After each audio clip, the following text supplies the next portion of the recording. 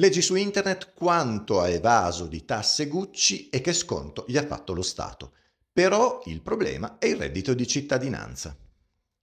Ciao Max e grazie mille per questo tuo commento. Allora, ho seguito il tuo consiglio e sono venuto a sapere che dal 2011 al 2017 il magnate francese François-Henri Pinault il 32esimo uomo più ricco al mondo, tramite la società Kering, che controlla tra gli altri anche il marchio Gucci, ha evaso tasse per miliardi di euro.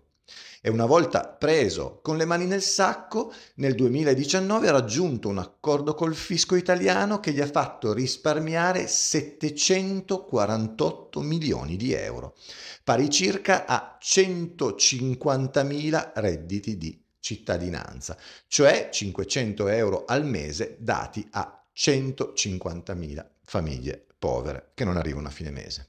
E questi poi, quelli come Gucci, sarebbero i grandi imprenditori, cioè la spina dorsale del paese, quelli che creano lavoro e benessere per tutti. Osannati dal governo attuale, ma anche e soprattutto da questa vomitevole pseudosinistra italiana, oltre che da una pletora di imbecilli che magari guadagnano 1000 euro al mese e che sono a loro volta sfruttati. Però, come hai giustamente osservato tu, secondo i media, la rovina dell'Italia sono i poveri cristi che prendono 500 euro al mese di reddito di cittadinanza.